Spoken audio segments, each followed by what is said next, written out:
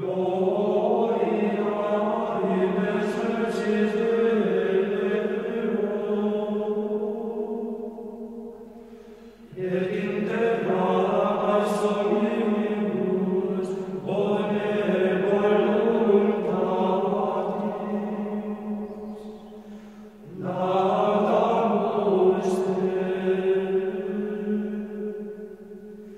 Benedicimus te.